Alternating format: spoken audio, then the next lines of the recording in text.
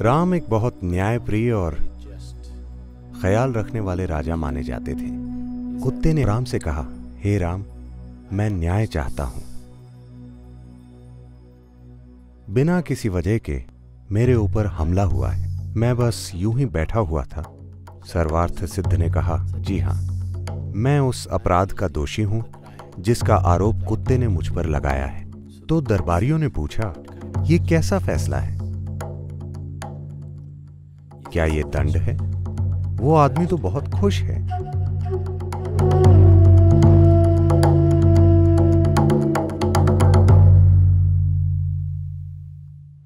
राम एक बहुत न्यायप्रिय और ख्याल रखने वाले राजा माने जाते थे। हर दिन वो दरबार में बैठकर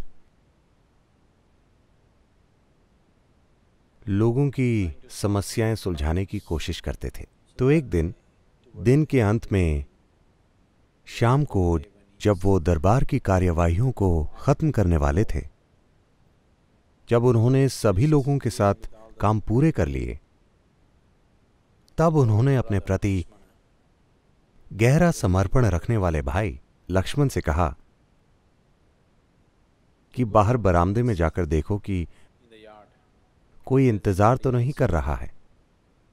लक्ष्मण बाहर गए इधर उधर देखा और वापस आकर कहा, वहाँ और कोई नहीं है। हमारा आज का काम खत्म हो गया है। राम ने कहा, फिर से जाकर देखो, शायद कोई हो। ये कुछ अटपटी बात थी। वो बस अभी देखकर आए थे। फिर से राम कह रहे हैं कि जाकर देखो। तो लक्ष्मण फिर से गए और आसपास देखा, वहाँ कोई नहीं था। वो बस लौटने ही वाले थे कि उनका ध्यान वहाँ बैठे एक कुत्ते पर गया। जिसका चेहरा बहुत उदास था और जिसके सिर पर एक घाव था। तब उन्होंने कुत्ते को देखा और उससे पूछा, क्या तुम किसी चीज़ का इंतज़ार कर रहे हो? कुत्ता बोल पड़ा और उसने कहा, हाँ, मैं राम से न्याय चाहता हूँ। तब लक्ष्मण ने कहा, तुम अंदर आ जाओ, और वो उसे दरबार में ले गए। कुत्ते ने आकर राम को प्रणाम किया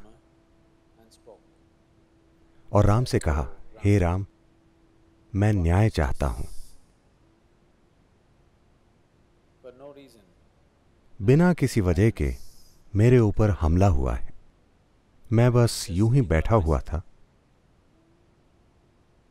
एक आदमी, जिसका नाम सर्वार्थ सिद्ध है, उसने आकर मेरे सिर पर बेवजह ही डंडे से मार दिया। मैं बस बैठा हुआ था। मैं न्याय चाहता हूँ। तुरंत राम ने सर्वार्थ सिद्ध को खोजने के लिए लोग भेजे। वो एक भिखारी था। उसे दरबार में लाया गया। तो राम ने पूछा, तुम अपने पक्ष में क्या कहना चाहते हो? ये कुत्ता कह रहा है कि तुमने बेवजह उसे मारा है। सर्वार्थ सिद्ध ने कहा, जी हाँ, मैं उस अपराध का दोषी हूँ, जिसका आरोप कुत्ते ने मुझ पर लगाया है। मैं भूख से तड़प रहा था, मैं गुस्से में था और हताश था।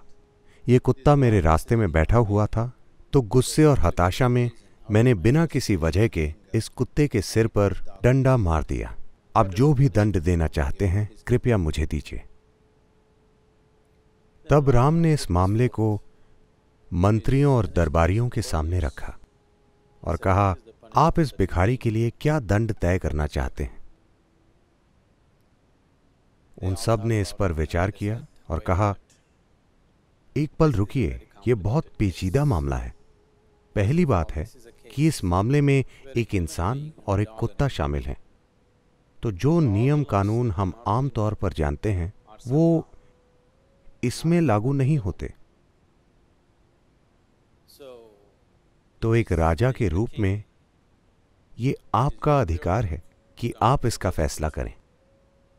राम ने कुत्ते से पूछा, तुम क्या कहते हो? क्या तुम्हारे पास कोई सुझाव है? कुत्ते ने कहा, जी हाँ, इस आदमी के लिए मेरे पास एक उचित दंड है। वो क्या है, हमें बताओ? तो कुत्ते ने कहा, उसे कलिंजर मठ का मुख्य महंत बना दीजिए।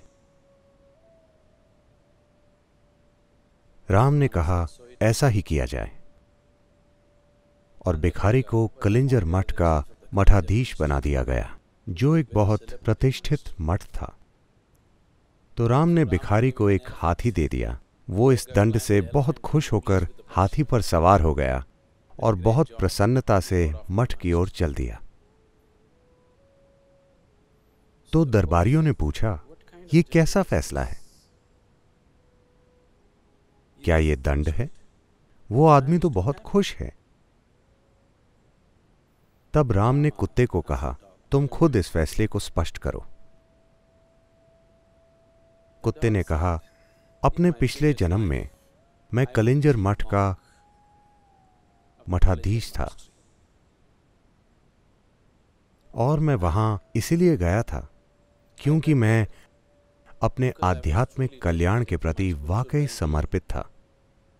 और उस मठ के प्रति भी जो कई दूसरे लोगों को उनके आध्यात्मिक कल्याण में सहायता कर रहा था।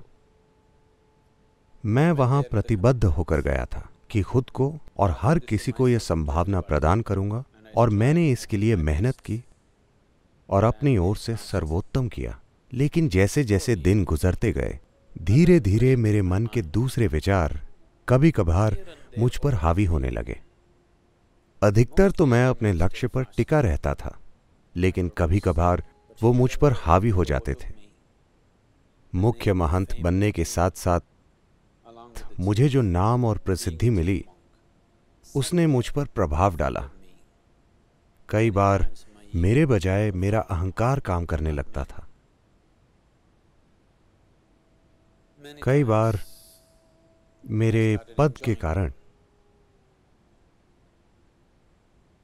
लोगों द्वारा दी गई सरल सी पहचान से मुझे अच्छा लगने लगता था।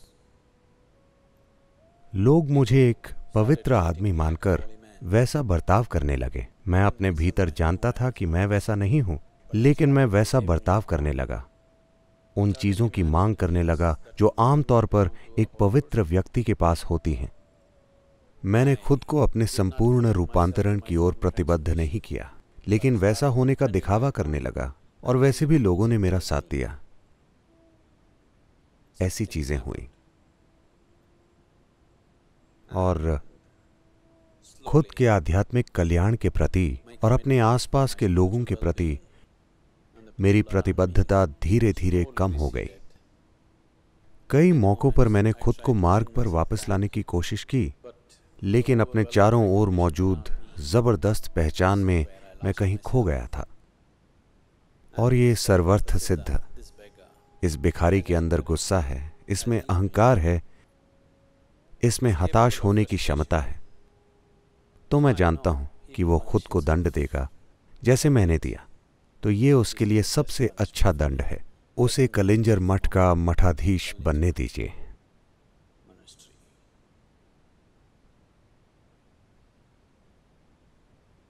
लोग खुद को असाधारण मात्रा में दंड दे देते हैं। खुद पर पीड़ा और कष्ट ले आते हैं। पर ज़रूरी नहीं है कि उनका जीवन बुरे कामों में लगा हुआ हो। हो सकता है कि जीवन आध्यात्मिक कल्याण के लिए प्रतिबद्ध हो। हो सकता है कि जीवन कई अच्छे कामों में लगा हुआ हो, पर रोज वो कुछ चुनते हैं और फिर कुछ और चुन लेते हैं। वो अपने भाग्य को एक दिशा में ढलने नहीं देते।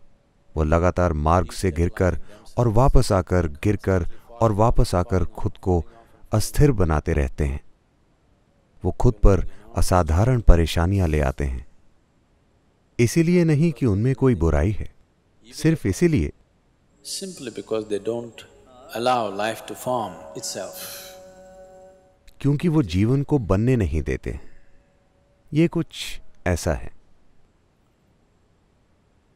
कि जो चीज़ आकार ले रही है, उसे बार बार हिलाना। हर बार जब आप चुनते हैं और त्याग देते हैं, आप अपने भाग्य की दिशा को बिगाड़ देते हैं। बहुत सारी साधना और कई चीज़ें करने के बाद आप एक निराशा की स्थिति का सामना करते हैं। कोई स्थिति निराश करने वाली नहीं होती। अगर आप किसी स्थिति को देखकर निराश हो जाते हैं और आप उस मार्ग को त्याग देते हैं जो आपने चुना है। कल सुबह फिर आप मार्ग पर चल देते हैं, लेकिन कुछ घंटों के लिए मार्ग को त्याग देने से आपने अपने भाग्य के बनने को, अपने भाग्य की दिशा को अस्थिर कर दिया है। एक प्रतिबद्ध मन, एक ऐसा मन जिसकी प्रतिबद्धता स्थायी है और जो हमेशा के लिए चुन लेता है। चुनाव करने के बाद आप खुद को चुनाव विहीन बना लेते हैं। ऐसा मन भाग्य को उस तरह से बहने देगा जिस तरह से आपने चुना है।